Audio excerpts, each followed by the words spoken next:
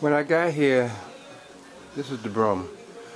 You know, um, got to keep things neat and tidy, sweep the veranda off. But I just, when I saw this broom, I said, "Nah, this ain't gonna work." So.